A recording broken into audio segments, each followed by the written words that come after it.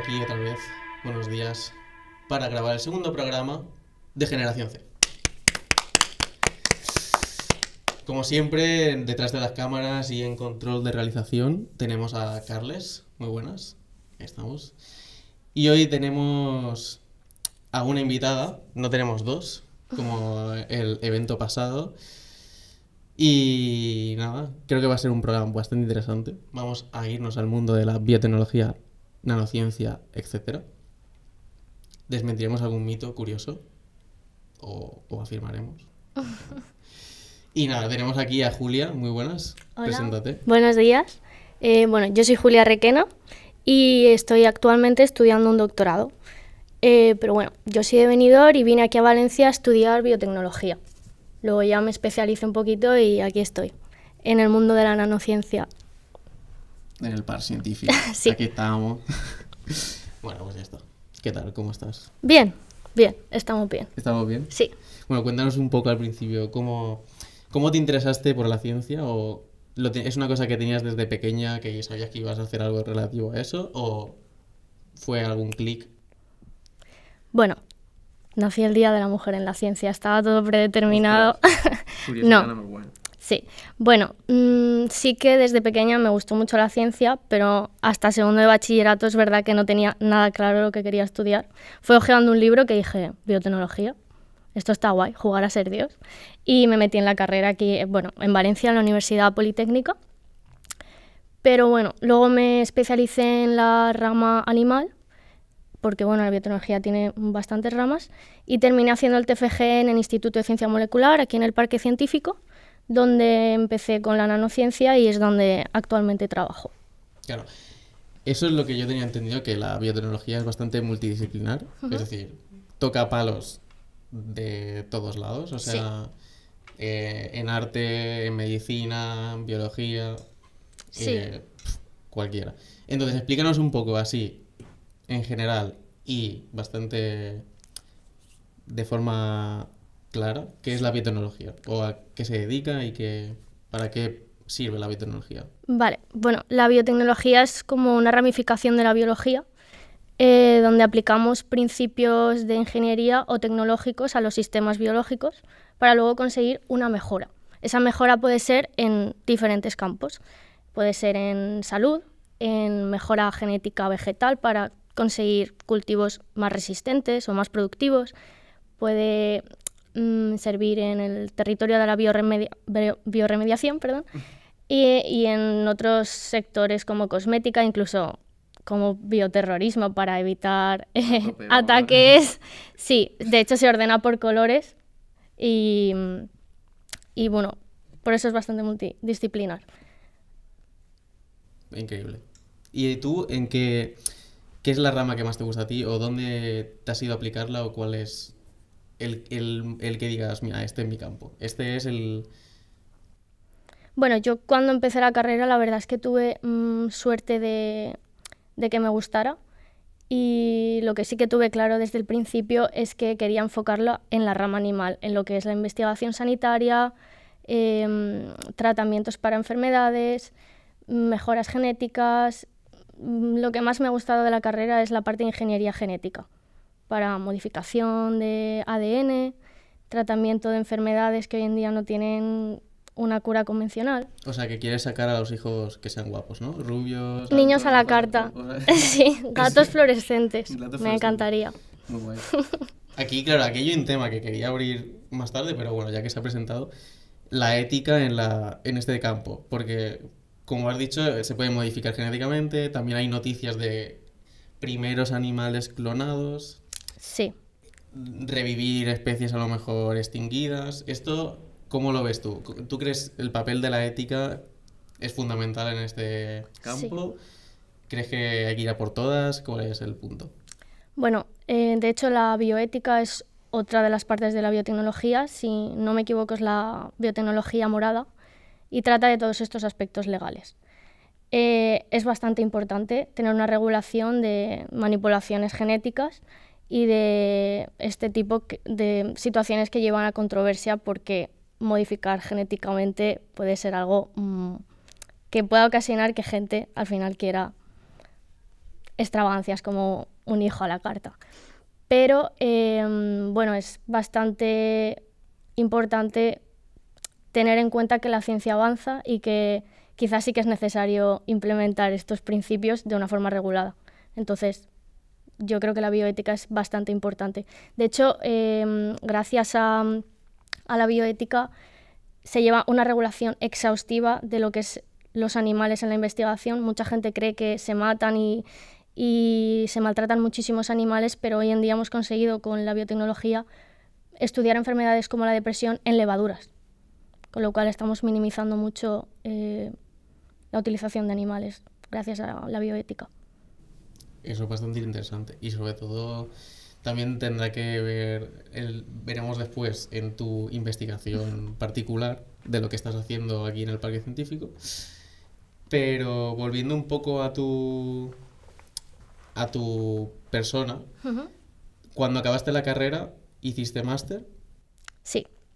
Bueno, yo hice el trabajo final de grado ya en el Instituto de Ciencia Molecular y combiné em, un poco lo que viene siendo la biotecnología con la nanociencia. De hecho, se conoce como nanobiotecnología, todos son prefijos, pero me gustó tanto que decidí hacer el máster de nanociencia y nanotecnología molecular, que así también me permitía entrar en el doctorado, que no es algo que contemplara durante la carrera, pero luego mm, la verdad es que me gustó mucho y quise continuar. te, te, viste ya atraída a la ciencia, sí, ya totalmente a tope enganchada. Bueno. Y en este, ya claro, saltas del máster al doctorado. Sí. ¿Y sigues con, esa, con ese mismo trabajo de máster? No. ¿O ya ahí...? La verdad es que durante el trabajo final de grado trabajé con el mismo material que utilizo ahora, pero en el trabajo de máster utilicé un material distinto. Al final las aplicaciones para lo que estudio eran las mismas, son aplicaciones biomédicas, pero el material es diferente. Muy bien.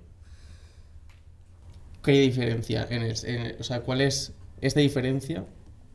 ¿Puedes desarrollar un poco más? Claro. Eh, bueno, en mi grupo la verdad es que trabajamos con diferentes materiales disruptivos.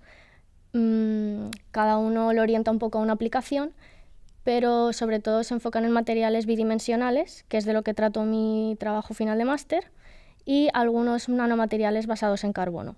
Y ahora yo estoy especializada en estos nanomateriales de carbono, en concreto nanocebollas, que son ideales. Que son como los ogros, ¿no? Nanoogros. Son cebollas porque a veces me hacen llorar. O sea, sí, tú las ves en a el ver, ¿Qué es microscopio. esto de cebolla? Claro, a ver. Ya aquí hay que parar porque la gente estará diciendo cebollas. Sí. Y se está imaginando la verdura y no es así. Bueno, tú ¿Por, cuando... qué, por qué se le llama cebollas? Claro, es una buena pregunta. Tú cuando cortas una cebolla real, tienes capas concéntricas. Como los ogros. Pues este nanomaterial, cuando lo ves en microscopía eh, de transmisión electrónica, ves esas capas. Son eh, ma- materiales eh, que tienen capas de fullerenos, que es como una pelota de fútbol de carbono, y hay un fullereno dentro de otro, dentro de otro, dentro de otro. Entonces son como capas de carbono que al final simulan la forma de una cebolla y se llaman nanoonions. Es ideal. A ver, has usado bastantes términos muy técnicos. El fulereno, esto que... Vale, dentro de la los materiales de carbono, nanomateriales, existen diferentes alótropos. Los alótropos son formas. Estas formas, eh, pues, bueno, pueden ser nanotubos, pueden ser eh, nanoflores, pueden ser nanodiamantes, fullerenos, que es esta estructura que parece un balón de fútbol, por cómo se disponen los átomos, en pentágonos, hexágonos, simulando un balón de fútbol. Y las nanocebollas es como mm, tener un fullereno dentro de otro, dentro de otro, como si fuera una estructura matriosca. Una muñeca dentro de otra. Dentro Y ahí las capas y todo el rollo. ¿no? Sí. Muy bien, pues ya que han mencionado esto, vamos un poco a lo que consiste tu investigación Ujú. y en qué estás investigando ahora, porque creo que es algo bastante interesante. Y si has- antes has utilizado el término disruptivo, pues esto a lo mejor puede ser una, una novedad que rompa fuerte Claro. en el mundo de la nanociencia, biología y medicina. Sí. Bueno, mm, yo concretamente utilizo estas nanocebollas para intentar buscar una aplicación en nanomedicina. En nanomedicina podemos tener diferentes aplicaciones, como transporte de fármacos dirigidos a los tejidos o células que queramos. Podemos eh, utilizarlas como sensores, por ejemplo, para sensores de glucosa en caso de diabetes. Se pueden utilizar para ingeniería de tejidos, porque son eh, unos materiales muy resistentes, o como mm, fármaco por sí mismo. Yo estoy interesada en esta última aplicación e intento buscarles eh, aplicación para tratamiento de cáncer, en concreto una terapia que se llama terapia fototermal y fotodinámica. Son fototerapias eh, que son poco invasivas. La idea es que una vez estas nanocebollas estuvieran dentro del cuerpo, llegaran al tejido tumoral, eh, yo desde el exterior con un láser les enviara energía en forma de luz y ellas lo convirtieran en temperatura. Esta temperatura mataría a las células y además también se generarían especies reactivas de oxígeno, que es daño químico. Vamos, que tú estás controlando en cualquier momento de que, eh, que esas células se mueran. Y además, en su paso por lo que son las venas y todo, hasta que llegan a ese tejido, no pasaría a priori nada porque se ha estudiado que son muy poco tóxicas, lo cual resulta interesante. Claro, de ahí lo de que sean un poco invasivas, ¿no? Que eso quiere decir que sufriría mucho menos el paciente. Claro, porque al final es carbono, entonces el carbono estamos hechos de carbono. Estamos aquí sí. viviendo gracias a eso. Hmm. claro, pues es bastante interesante lo que me cuentas.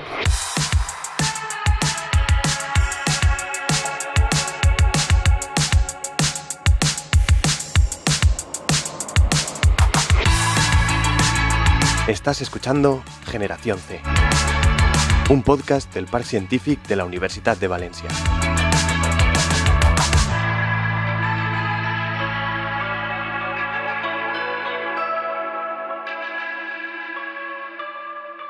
Vale, me estabas hablando de biotecnología, nanociencia y luego medicina. Sí. Esto parece cuatro campos y medio, entonces ¿Cómo es posible que tú, habiendo hecho una carrera, habiendo acabado en un máster así y luego haciendo el doctorado, ¿cómo, o sea, cómo ¿qué desempeñas tú realmente en el día a día? Todo. Soy multitasking. Eh, yo, cuando acabé biotecnología, me quedé con unas gafas de bióloga. Y cuando hice el máster, me puse un poco las de química y un poquito las de física. Eso hace que para, en concreto, esta investigación tenga que ser también un poco química, porque el nanomaterial no lo pruebo solo en células para ver cómo de tóxico es o sus aplicaciones biomédicas. Yo tengo que estudiar el perfil eh, químico de lo que es la partícula, eh, cómo es su superficie, tengo que medir sus características. Entonces yo en concreto trabajo en dos laboratorios distintos, el de química eh, y el de cultivo celular, que son cosas muy, muy contrarias porque en el de cultivo celular tienes que tener un nivel de esterilidad máximo y en el de química no es tan necesario. Claro, entiendo también que estás en diferentes laboratorios. Sí. Y que los protocolos son muy diferentes. Muy diferentes. A ver, coméntanos esto. Por ejemplo, eh, si tú en el laboratorio de química tienes que reutilizar una pipeta, no pasa nada. Pero las células no, no, no les puedes hacer eso porque se contaminan con mirarlas. Entonces tienes que tener un cuidado mucho más... Mm, tienes que tener mucho más cuidado en, el laboratorio de cultivo celular. De hecho, vas con más EPI. Vas con una bata, con mascarilla, con las calzas, te disfrazas. De ahí sale el COVID, ¿no? Sí. De ahí, Totalmente, sí, sí, sí. Muy bien. Y, y ahora, en tu día a día de un doctorando, esto porque, claro, mucha gente pensará el doctorado, investigación, a lo mejor es súper guay. Y a lo mejor no es tan guay. Cuéntanos un poco si puedes decir cómo es tu día a día en, este tipo de trabajo o estudio. Bueno, el doctorado es como un abanico de muchas cosas. De emociones, principalmente porque estás en una montaña rusa. Eh, tienes que aprender a lidiar con la frustración, sobre todo en ciencia. No es un trabajo que tú llegues un día y sepas lo que vas a hacer cada día es diferente, lo cual hace que o lo lleves muy bien o lo lleves fatal. Además tienes que acostumbrarte a tener paciencia, que dicen que es la reina de la ciencia, pero yo creo que es de la demencia, la verdad. o sea, eh, tienes que aprender a aceptar que no siempre las cosas salen como tú crees y que la ciencia no es tan exacta como parece, tienes que pillarle el truco. Y, luego mucho, mucho ensayo, prueba y error. Claro. Claro. Todo el rato yendo al laboratorio, esperando una cosa, sale otra, Sí. vuelta a casa diciendo que ha fallado. Que a veces eso es bueno, porque cuando te sale algo mal, que tú crees que está mal, luego resulta que es un avance porque has intentado, has identificado algo nuevo, diferente. Bueno, muchos muchos inventos más antiguos vienen de errores intentando investigar otra cosa. como la penicilina, serendipia. Pero bueno, lo que viene siendo el doctorado es mm, una combinación de muchas cosas. Tienes que tener mm, oratoria para las conferencias. Eh, tienes que leer mucho. Claro, Tienes... ¿a ti qué te piden que hagas? Porque no es solo hacer tu investigación, sino que tienes que divulgarla. Claro, eh, tú dentro de que estás haciendo algo nuevo, tienes que formarte eh, por ti mismo, ser un poquito autodidacta, empezar a leer mucho, eh, tratar de buscar cómo salirte un poquito del límite de lo que ya se conoce, porque a priori tú haces algo diferente, pero también es importante dar a conocer lo que haces. Sobre todo, eh, no solo tu doctorado, o sea, la ciencia en general se tiene que acercar a, a la sociedad. Y creo que ahí el parque científico eh, toma buenas cartas porque tiene muchas iniciativas como esta para acercar la ciencia a, la- a los demás. Claro, eh, tú piensas, por lo que me dices, eh, sé cuál va a ser tu respuesta, Sí. Pero es muy importante que la gente, o sea, que, el- que la ciencia llegue a la gente, ¿no? Claro. Es importante que tú sepas contarle esta historia de las cebollas a tu abuela de manera que lo entienda.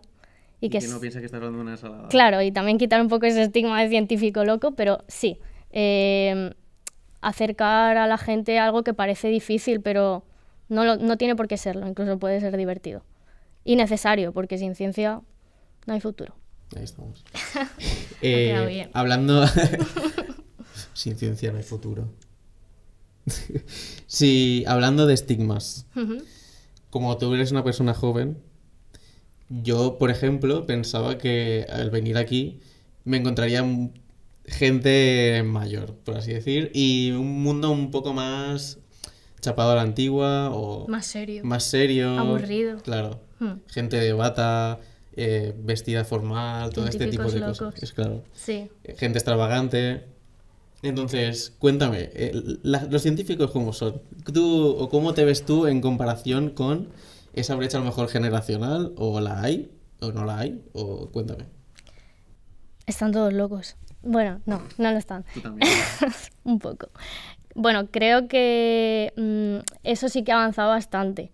Lo que es la, la visión de, de la ciencia gracias a iniciativas así, eh, ya no tenemos ese perfil de científico loco. Pero bueno, sí que existen aún cosas que hay que pulir, sobre todo en- dentro de lo que es el doctorado, y hablo desde mi perspectiva siempre. Mm, por ejemplo, mm, yo creo que lo que todavía está muy instaurado dentro del doctorado es las horas. Mucha gente cree que por estar 13 horas en un laboratorio tu ciencia es mejor. Y eso es lo que creo que todavía hay que, hay que pulir. Es un poco sociedad japonesa, ¿no? Que Sí, más horas sí, estás sí, en el trabajo, mejor se te va a valorar. Claro, y hay mucha gente que no sabe desconectar. Y yo creo que es importante también separar.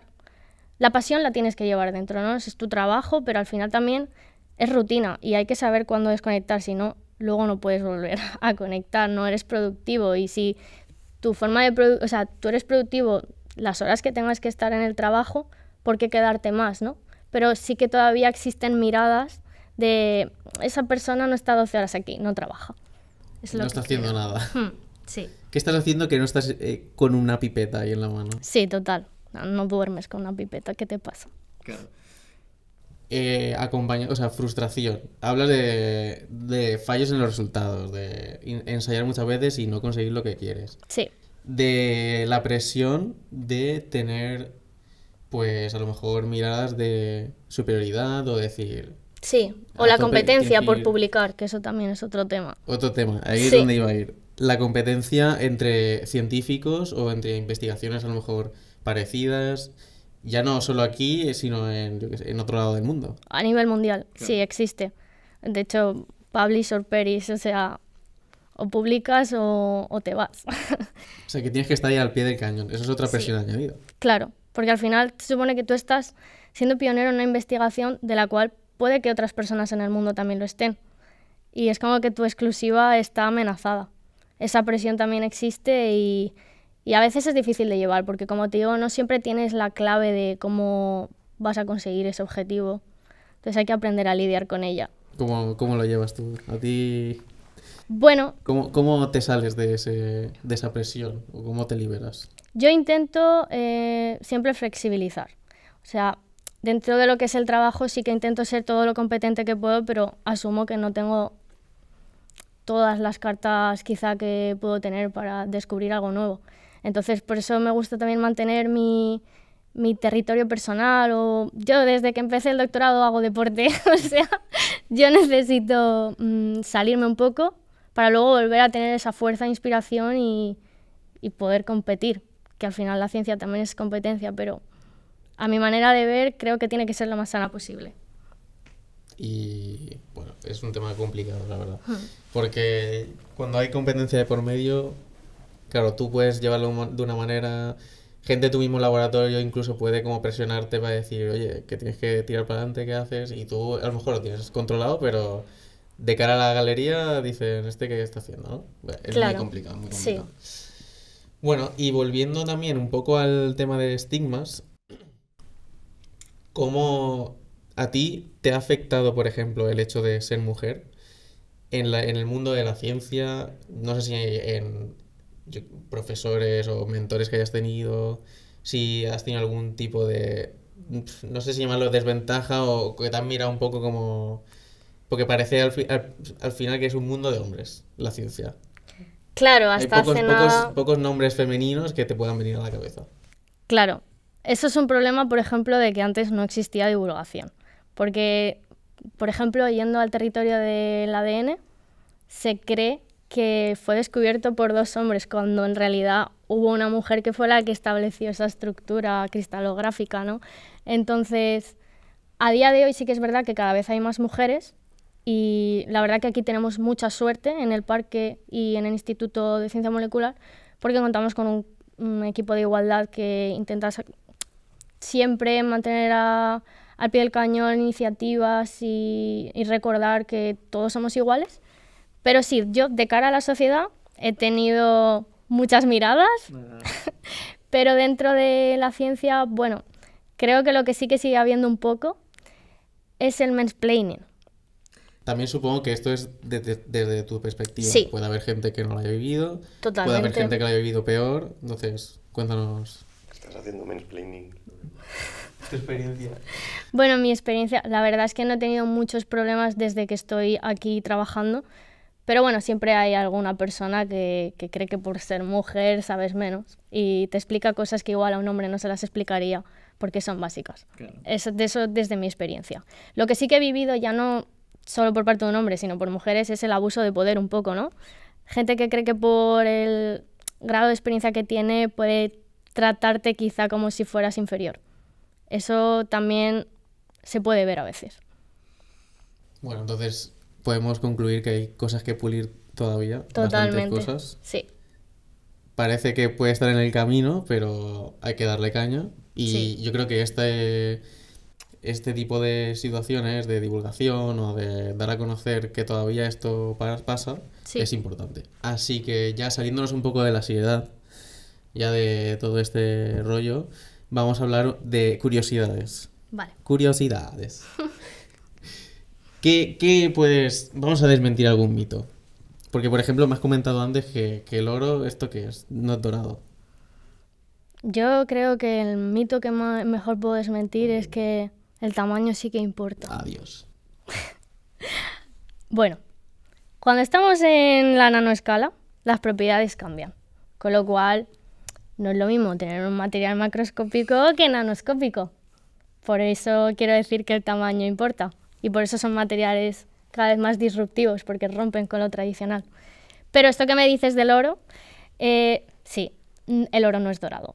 ¿Y qué es? El oro... Estamos ciegos todos. Bueno, es dorado lo que tú puedes ver con tus ojos. Pero si tuvieras oro en diferentes tamaños, en la escala nanométrica, tendrían diferentes colores. Puede ser hasta morado, verde, azul, rojo. Cuanto más pequeñito es, más rojo es. sí. Es Esto poco- pasa...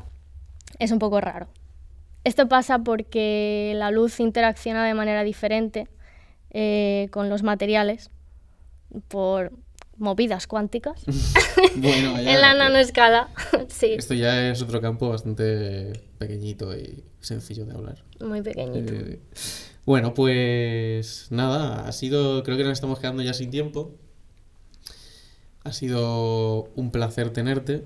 Y como última pregunta, quiero que me digas cuál es tu película favorita. Interestelar.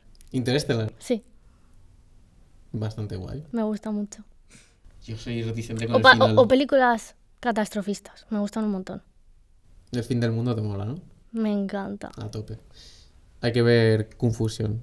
Ese es el único punto. Pero bueno, yo por mi parte dejo que te despidas. Ha sido un placer tenerte con nosotros. Creo que ha quedado bastante guay.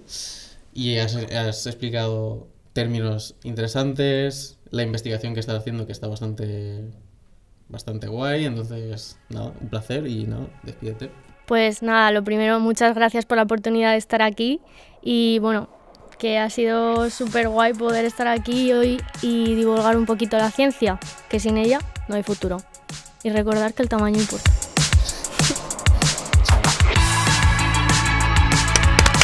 ¡Chapa! Ah, coño, pensaba que me ibas a chocar. ¿Puedo beber?